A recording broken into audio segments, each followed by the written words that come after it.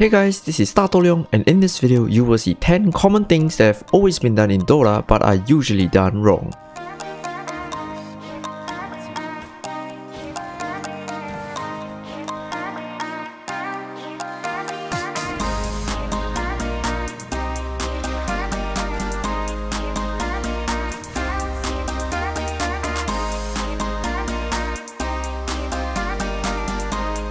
Most of the time, Osprey players tend to set up a lot of kills with Rolling Boulder and they are usually done from the Fog of War. One common mistake that most players make is placing the stone too soon. Stone Remnant can be seen from the Fog of War so placing it early will expose your positioning and end up failing your initiation.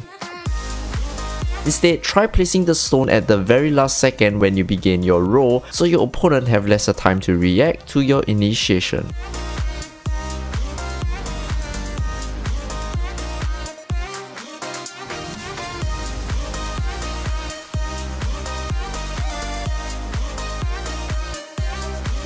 Items like Radiance, Ring of Aquila can be noticed when there are creeps around you. So if you are looking to gank or flank your enemies from the fog, please toggle all this aura off so you don't expose your positioning.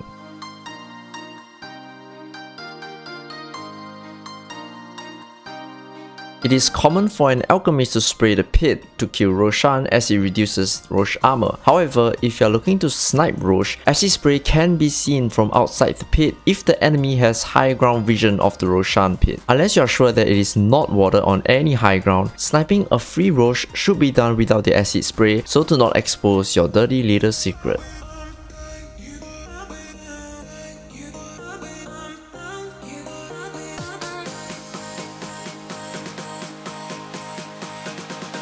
Apart from Blink RP or just walking into Echo Sabre target, Skewer can also be used as a form of initiation in some cases, but you should never skewer in like this.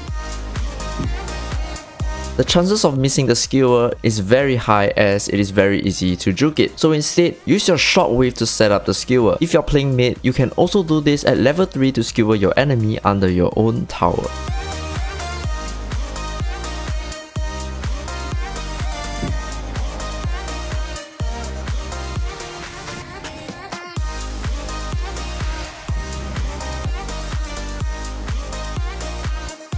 I'm sure that most Invoker players out there will know about the Cold Snap Tornado Meteor combo, but can you tell the difference between this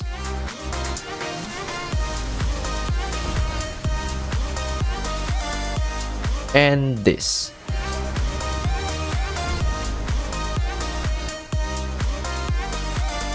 The second example did slightly more damage and can be crucial if you're looking to make solo kills happen. If you place your meteor just slightly further behind, you will do more damage and that should be enough to take out any target without an escape.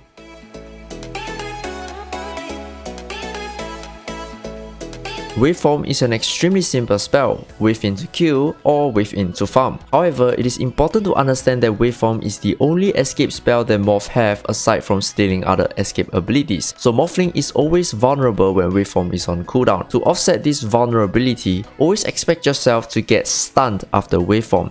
Instead of just using Waveform, always use Strength Shift during the Waveform itself so you don't die instantly. There is no drawback to this and it is a very good habit to have.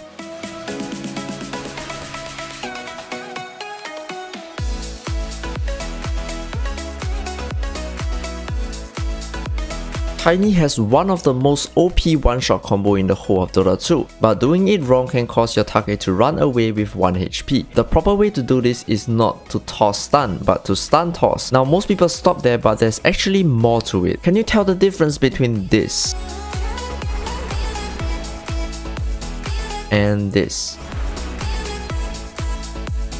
The first example does around 870 damage, while the second example does around 960 damage. Casting toss instantly after stun is very important as any delay can cause you to do lesser damage. Keep in mind that this is without hitting the target even once, so if you add in a right click or two, you can easily solo kill any support.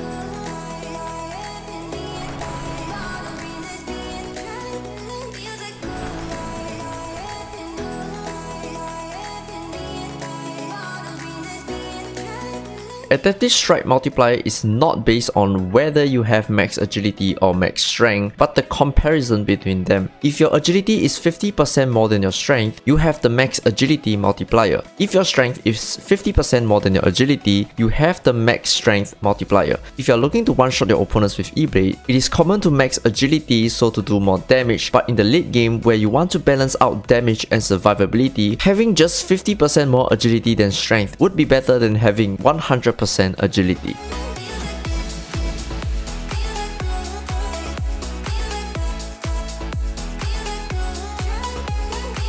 Blink, Stun, Doom, Scorch Earth, Infernal Blade. Alright, cool. But there's a better way and more efficient way to do this. Instead of starting in with Blink Stun, try blinking into Infernal Blade then Stun. The mini stun from Infernal Blade will help you set up a longer stun duration and since Infernal Blade has only 4 seconds of cooldown, you will get another Infernal Blade shortly after the stun so you do way more damage than just blinking in to stun.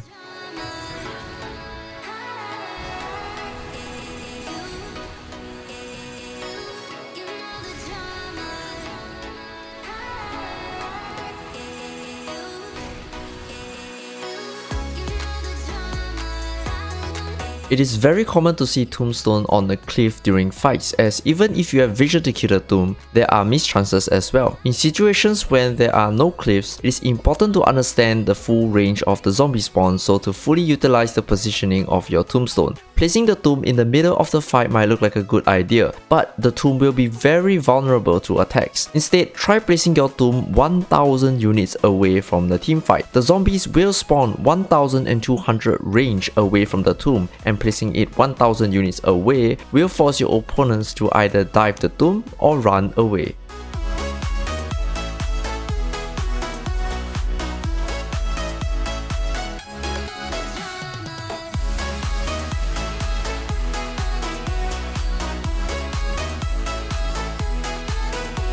Thank you for staying to the end of the video. Hope you have learned something and if you do, please hit that like button as it really helps out the channel. We have come a long way and I really appreciate everyone that have supported me and my journey to this day. I will try my best to stream whenever I'm free and I'll let you know on Discord and Instagram so please follow me there as well. I also genuinely promote party queuing as I believe that having someone to play with will definitely improve your gaming experience. So if you want to find someone to play with, do join my Discord. Thank you for watching and I'll see you in the next video.